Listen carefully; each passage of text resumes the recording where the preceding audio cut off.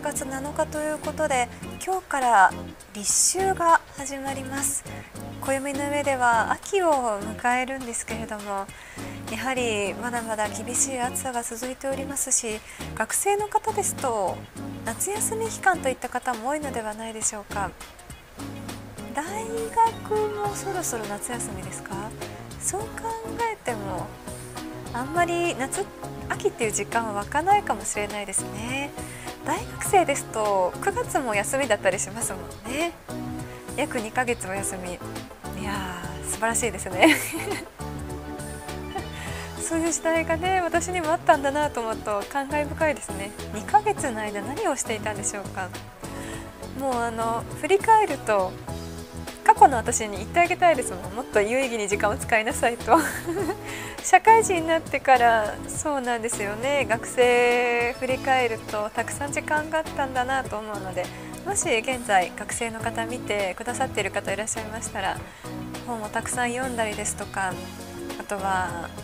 ね資格勉強などもしていただきたいと思います。私は大学教授に言われた言葉が今にも記憶残っていてあのアルバイトしなくてもいいんだったらたくさん本を読みなさいと言われたんですよね。確かになかなか社会人になってから本を読むっていう時間が取ること大変じゃないですか。なのでなるべくもし時間があるんだったら働くことはたくさんできるから 成人してからもねたくさんできるから、はい、今は本を読んだりとか大学の勉強してくださいとね教授に言われた記憶が今でも残っています。刺さりますね。ね まあ、ちょうどこう8月9月ということでね、はい、夏を謳歌している方も多いかと思いますが暦の上では秋を迎えております。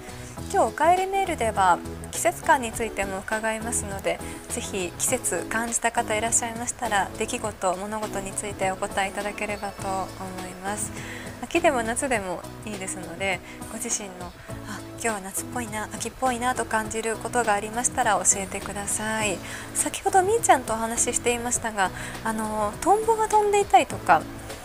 あと最近こう上空に薄い雲がかかってね秋っぽい空だなということも